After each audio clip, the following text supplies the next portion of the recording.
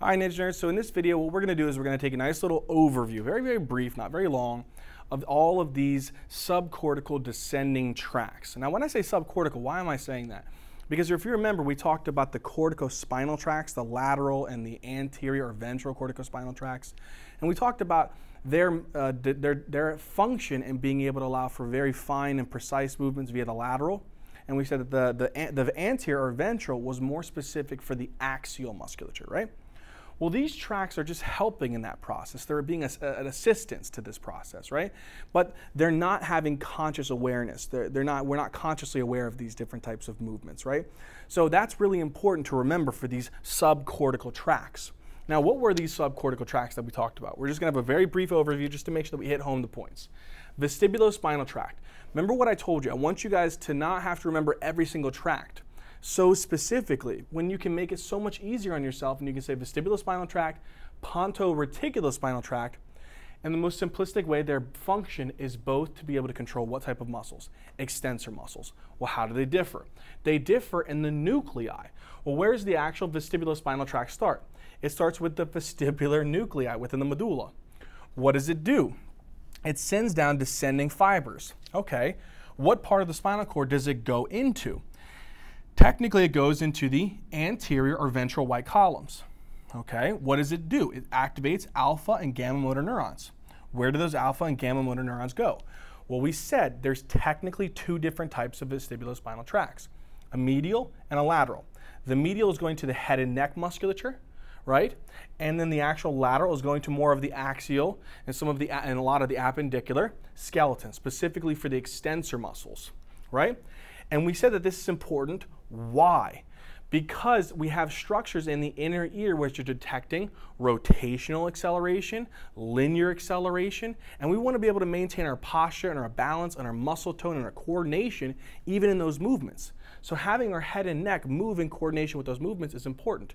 Having our body have uh, anti-gravity muscles and posture to maintain whenever we're moving rotationally and linearly is important. And if you remember I said one last thing, was that this vestibular nuclei, to coordinate with the head and neck muscles, we had the fibers going upwards to the cranial nerve 3, 4, and 6 via the medial longitudinal fasciculus to coordinate our, our gaze, our eye movements with whatever object we're looking at as we're rotating or linearly accelerating, right? And then we said one other thing. We said that this system can't operate on its own it can't do that. We said that we have to have some type of regulation or brake system onto this vestibular nucleus because if it wasn't controlled, it could cause extensor hypertonus. We don't want that. So who was helping that? The red nucleus. The red nucleus was kind of putting the brakes on that system and saying, hey, not too much going down. We don't want that. So that's the importance for this vestibulospinal tract. The ponto-reticulospinal tract, what did we say? It goes to the extensor muscles. Okay, simple as that.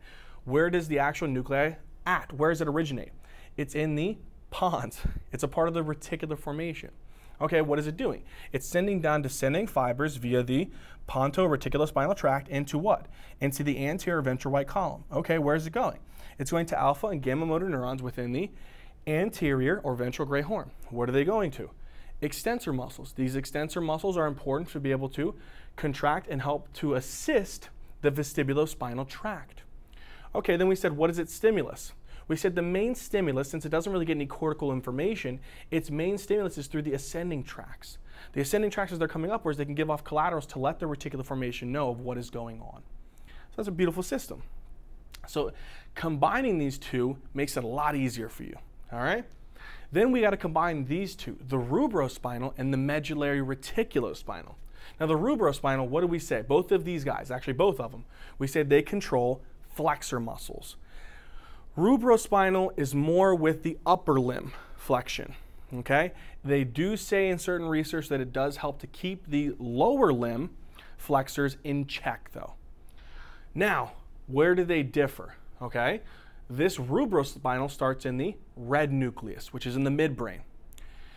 Okay, from there, you have to remember that this crosses. What is that cross called? It's called the ventral tegmental decussation. There's a special, special area in the um, uh, midbrain called the tegmentum, right? And it's going to cross in front of that. So the ventral tegmental decussation is where they cross to the opposite sides and then descend down as the rubrospinal tract. The rubrospinal tract goes to what? it goes into the lateral white column. They say that it can even be intermixed with the lateral corticospinal tracts. Then it gives off collaterals, mainly within the upper uh, spinal cord. Why? Because it's mainly going to the upper limb flexors. But again, they do say that it can go down possibly because it keeps in check the lower limb flexors. It stimulates alpha and gamma motor neurons to go to these flexor muscles. If it's alpha, contracts it, shortens and lengthens it. If it's gamma, it's keeping those muscle spindles tight to allow for nice uh, firm contractions, not limpy contractions. Then we said that the red nucleus, how does it get stimulation? Well, it gets information from the cerebellum because the cerebellum is constantly being updated about the proprioceptive information of the body. The special nuclei, the deep cerebellar nuclei that tell the red nucleus this, is the globose nucleus and the emboliform nucleus. And then we said that the cortex, the cerebral cortex, can tell the red nucleus. Remember, this was the corticospinal tracts? They can give off collaterals to tell the red nucleus because the red nucleus is going to assist the lateral corticospinal tract, specifically in limb flexion. All right, and upper limit that. All right, so the last one, we said, okay, this one was flexion. This one's also controlling flexor muscles. Okay, what's the difference? The nuclei starts here within the medulla. It's in the medulla, and it's a part of the reticular formation. Okay, where does it go? The descending fibers via through this medullary ponto reticulospinal tracts, I'm sorry, medullary reticulospinal tracts is going to go into the lateral white column of the spinal cord. As it goes into the lateral white column of the spinal cord, what does it do? It gives off its axons into the anterior or ventral gray horn at many different levels of the spinal cord. Activates alpha and gamma motor neurons, which go to what type of muscles? Flexor muscles. And this is supposed to assist the rubrospinal tract. Now, what is the stimulus for this guy? The stimulus for this guy is mainly going to be heavy descending connection from the cortex via what's called the cortico-reticular fibers. As these fibers are coming down, they let the reticular formation know. The reticular formation says, okay, got the information I need. And remember, we have ascending tracts, like dorsal column medial lemniscal pathway, or we even have the anterior lateral system or the spinal thalamic tract, the spinal reticular tract, so many different tracts. They can let this reticular formation know. And that can also control the descending information downwards. And where do these guys go? Again, they go into the lateral white column, activate alpha motor neurons, gamma motor neurons, which cause the flexor muscles to contract. All right, Ninja so I hope all this stuff made sense. I really do hope that you guys enjoyed it. If you guys did, please hit that like button, comment down in the comment section, please subscribe. All right, Ninja please also, if you have time, go check out our uh, Facebook, our Instagram, maybe even our Patreon account. We truly would appreciate it. All right, Ninja as always, until next time.